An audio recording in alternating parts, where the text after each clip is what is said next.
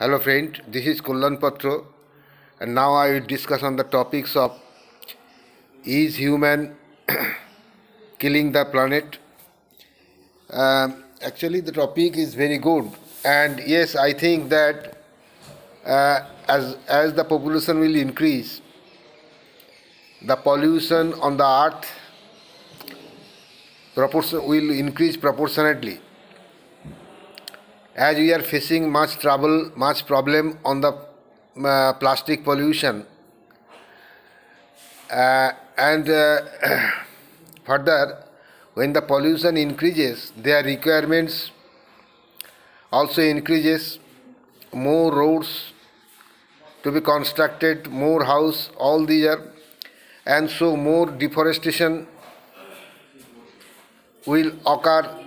The forest will be cut off new place of habitation is required. And all these will certainly uh, in, uh, create a negative impact on earth.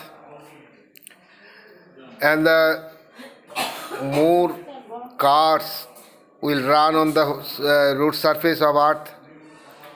And so more carbon dioxide, carbon monoxide, all these greenhouse gases will be ejected. However, there are some precautionary measures are being taken to re reduce the greenhouse gas and to uh, uh, to reduce the deforestation. Paper is not being used. All these are all are digitally uh, all are digitally um, converted and all these precautionary measures will certainly reduce the corruption, the pollution as well as the negative impact of on earth. However, the main thing is that as the population will increase on earth, the earth will be uh, polluted and distorted much and much uh, uh, much more.